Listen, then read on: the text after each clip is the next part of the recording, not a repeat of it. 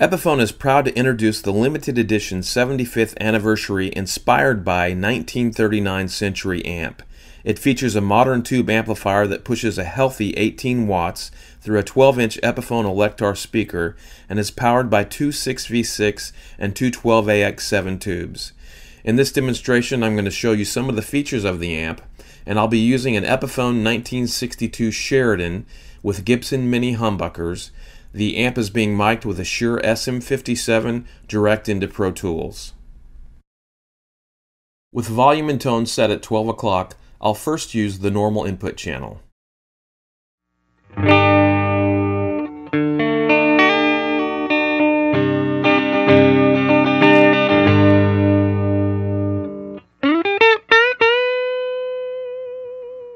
Here's the same progression using the dark input channel. And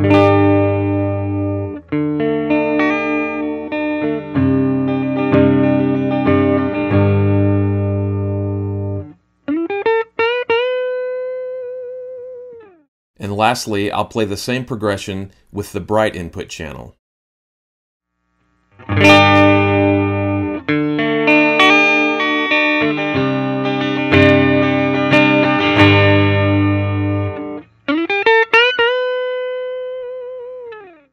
To give you a feel for the tone control, I'll first roll the tone back to 2.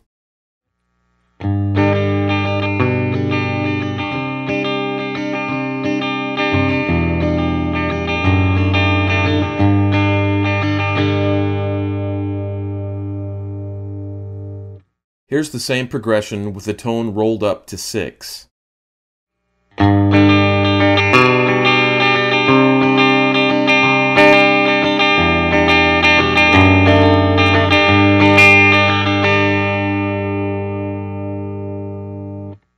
And here's the same progression with the tone maxed at 10.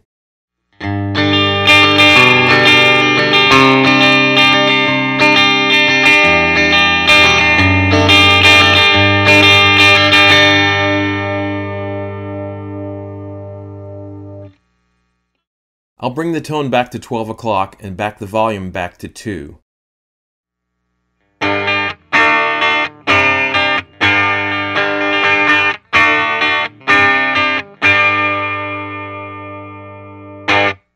Here's the same progression with the volume bumped up to 6.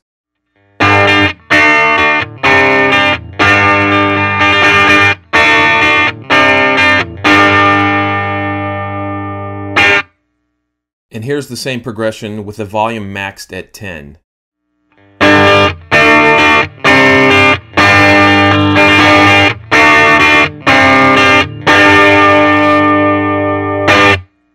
Here's an example of the boost feature with the volume at 6 and boost engaged.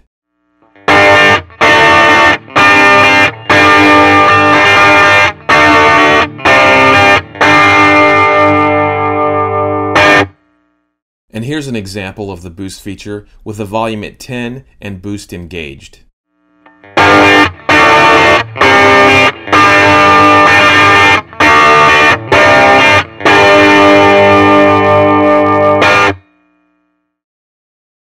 The inspired by 1939 Century amp is capable of filling a club or a recording studio with style. It comes with Epiphone's limited 5-year warranty and legendary 365 24/7 Gibson customer service. Plug in and turn up for the new century with the Epiphone limited edition 75th anniversary inspired by 1939 Century amp. For more information, visit www.epiphone.com.